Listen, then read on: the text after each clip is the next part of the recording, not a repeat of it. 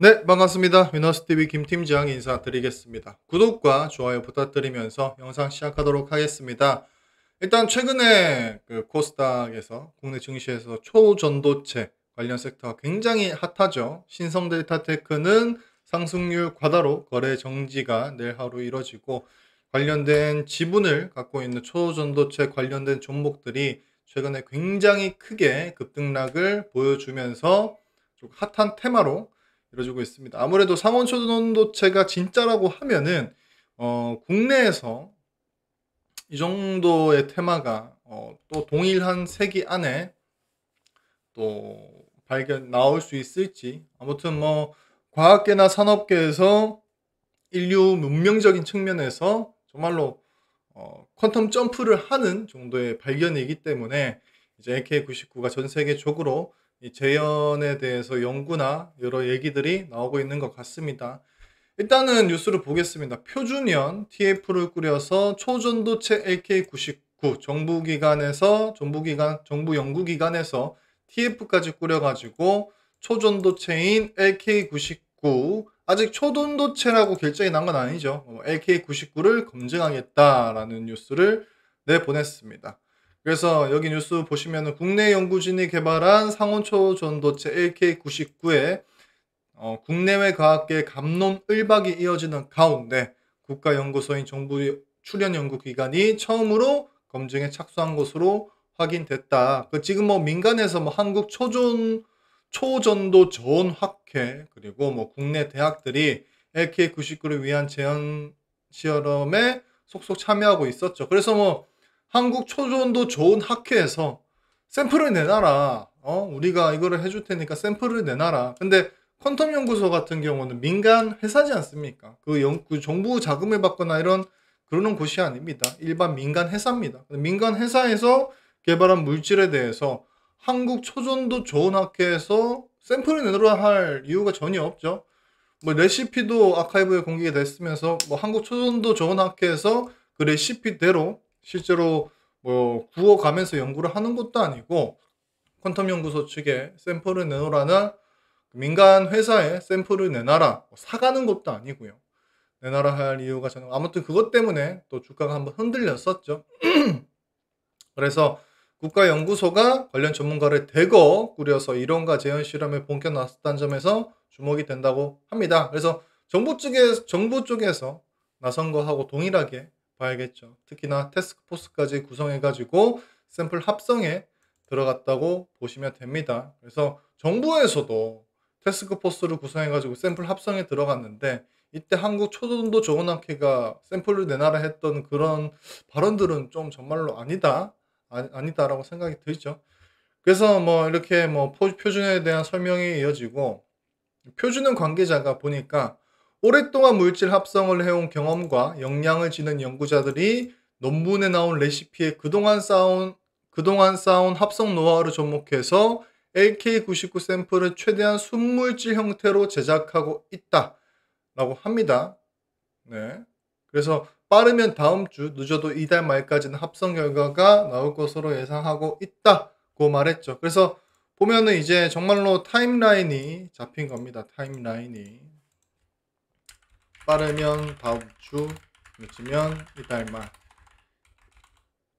LK99에 대해서 판별 어, 답이 나온다. 1차적으로 이렇게 간단하게 한번 생각을 해 볼게요. 네. 봅시다. 합성 결과가 나올 것으로. 근데 이 합성 결과라는 게, 네. LK99 샘플 자체를 뽑아내는 기간이 여기일 수도 있겠죠. 빠르면 다음 주, 늦으면 이달만. 뽑아, 빠르면 다음 주에 LK99를 뽑아낸다 하더라도, 뭐, 결과치, 이거를 뭐, 저항도 재보고, 많이 쓰는 효과가 있는지도 보고, 결정 구조를 파악하고 하려고 하면은 그래도 한 1, 2주 추가로 걸리겠죠. 그러면은, 뭐 이달 말 정도, 이달 말, 이달 말 정도로 타임라인이 정해졌다. 그래서 LK99는 처음에 이제 합성 방법이 상온초전도체의 상온초전도체라는 이름을 달고 이제 레시피도 있는 상황에서 아카이브에 올라가다 보니까 전 세계 연구 기관에서 이게 뭐 맞다, 아니다, 뭐 이런 식으로 얘기가 많이 나왔었는데 지금 나온 결과로 보니까 이제 합성 이제 북쪽 부어서 나온 돌덩이라 하겠습니다. 부어서 나온 뭐 덩어리에서 LK99를 뽑아낸다. 그래서 LK99를 뽑아내서 뭐 방막 형태로 만들어서 뭐 상용화 뭐 이런 이런 게 맞는 것 같아요. 그래서 맨 처음에 레시피가 올라왔을 때 그러 그 레시피대로 구워가지고 뚝딱 나온 덩어리가 당연히 상온 초 전도체가 아니겠죠.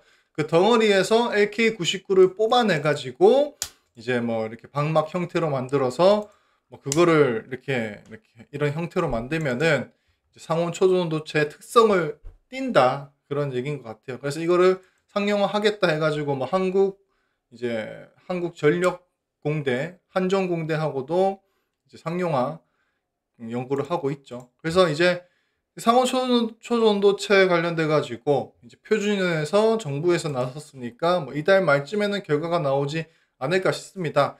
그래서 중요한 것이 맨 처음에는 이게 LK99가 사기다 라는 얘기가 많이 나왔었죠. 당연히 돌덩이를 예, 구워서 나온 돌덩이가 상온 초전도체가 아니기 때문에 이게 뭐 말도 안 된다 이런 얘기가 나왔다가 조금 점, 점점 조금 여론이나 스탠스들이 아 이거 최소한 신물질이다. 최소한 신물질이다. 라는 쪽으로 이제 여론이 조금 바뀌고 있습니다. 최소한 신물질이다. 최소한 신물질, 이 신물질이라고 하는 것이 기존에 있던 물질로 설명이 안 된다라는 거죠. AK99가 갖고 있는 특성 자체가. 네. 그래서 이것 자체가 이것 자체가 기대감을 갖게 하고 기대감이라는 게 주식의 종목이 되었을 때 주가 상승으로 이어진다 라고 보시면 될 것 같습니다. 그래서 지금 뭐 이거를 AK99를 뭐 과학적인 이론의 바탕으로 설명을 하고 이다 아니다 결과를 낼 수 있는 사람은 지금 전 세계 연구소에서 들러 달라 붙었지만은 아무도 없습니다. 제가 봤을 때는 이 타임라인이 중요한 거고 이 LK99에 대해서 확실히 이다 아니다라고 하면 그 결과치를 내려고 하면은 최소한 퀀텀 연구소에 있는 순도 높은 샘플이나 이런 식으로 표준화해서 테스크포스를 꾸려가지고 순도 높은 LK99 물질을 뽑아낸 다음에 재현한 다음에 그거를 측정하는 거 아닌 이상은 누구도 결과를 낼 수 없다. 그래서 타임라인이 이제 이번 달 말로 대략적으로 잡힌 것 같고 이제 이것 자체가 기대감을 갖게 하고 기대감이라는 게 주식이 접목되었을 때 주가 상승으로 이어진다라고 보시면 될 것 같아요. 그래서 신성 델타 테크는 만 원대부터 지금 4배가 주가가 올라가지고 거래 정지 내일 월요일 날 거래가 정지가 됩니다. 그래서 그 2등 주인 파워로직스가 이제 장 막판에 상한가를 갔죠. 정말로 장중에 안 가는 것처럼 이렇게 fake 무빙을 하더니 장 막판에 이렇게 치더라. 특히나 동시호가 바로 앞두고 나서 굉장히 어, 강하게 상한가 마감을 해버렸습니다.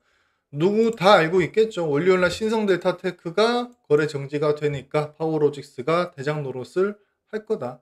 그래서 차트 보시면 아시겠지만은 어, 초창기에 조금 뉴스 결과에 따라서 하한가도 갔다가 상한가 갔다가 하한가 갔다가 이런 식으로 움직임을 보여주고 있는데 지금 결과치가 나온 것이 최소한 신물질이고 그 누구도 전 세계 누구도 LK99에 대해서 정확하게 아, 판별을 할 수 없는 상황입니다. 왜냐면은 이 LK99를 만드는 과정 자체가 노하우가 있어야 되고 순도 높은 샘플을 굉장히 짧은 시간 안에 뽑아서 어, 만든다? 그거는 조금 어렵기 때문에 아무래도 퀀텀 연구소 자체도 민간 회사기 때문에 본인들의 10년에 걸쳐서 만든 노하우나 이런 부분들을 다 오픈할 필요가 없겠죠. 그냥 LK99에 대해서 논문 정도, 논문식의 이제 LK99 자체에 대해서 논문 올릴 수는 있겠지만은 LK99를 만들어서 거기서 뽑아내 가지고 뭐 사, 방막 형태나 이렇게 상용화 가능한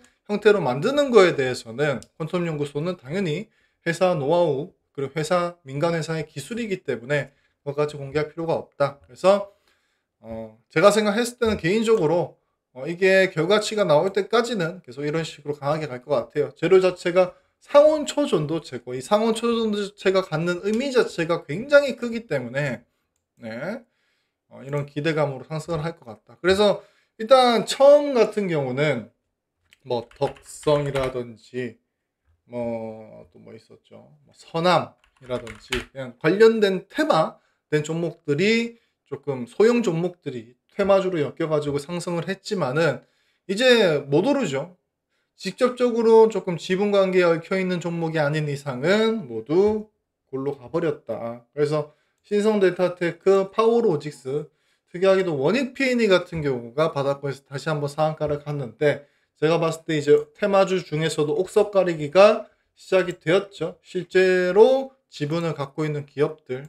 그래서 이게 퀀텀 연구소에서 어가 갖고 있는 지분 구조입니다. 이석배 대표가 51.7% 가지고 있고 주식회사 화인이 10%, L&S 벤처 캐피탈이 9.37%를 갖고 있는데 이 L&S 벤처 캐피탈의 지분이 이제 신성 델타가 52.5%를 보유했기 때문에 그거를 계산했을 때 4.9%, 파워로직스가 L&S 벤처 캐피탈의 11.5%를 지분을 갖고 있기 때문에 간접 보유분의 1.2% 이런 식으로 지분 관련된 종목들이 상승을 했다. 그래서 1등주가 당연히 지분을 가장 많이 갖고 있는 신성 델타테크, 2등주가 이제 파워로직스, 3등주가 뭐 유텍, 뭐 인지 컨트롤스 자회사라고 하죠.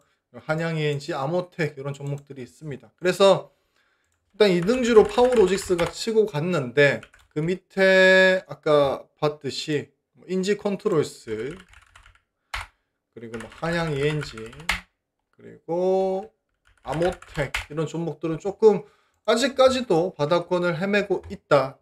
네, 대장 종목들이 네, 대장 종목들의 조금 덩치가 커지고 조금 탄력이 떨어졌을 때 뭐, 인지 컨트롤스나 그리고 한양 ENG 이런 종목들도 당연히 한 번 정도는 시세를 주겠죠. 그래서 뭐 지금 신성 델타테크는 월요일날 당연히 거래 정지가 될 거고 파워로직스 정도도 월요일날 굉장히 크게 갭을 뜨고 시작을 할 건데 거기에 대해서 되게 부담스러우신 분들은 뭐 인지 컨트롤스 그리고 뭐 한양 ENG 그리고 아모텍 요 정도 요 정도 노려보시면 될 것 같습니다. 인지 컨트롤스가 3등 주죠. 네. 그리고 시가총이 또 가볍기 때문에 굉장히 가볍게 움직일 수 있, 다고 보고 있습니다.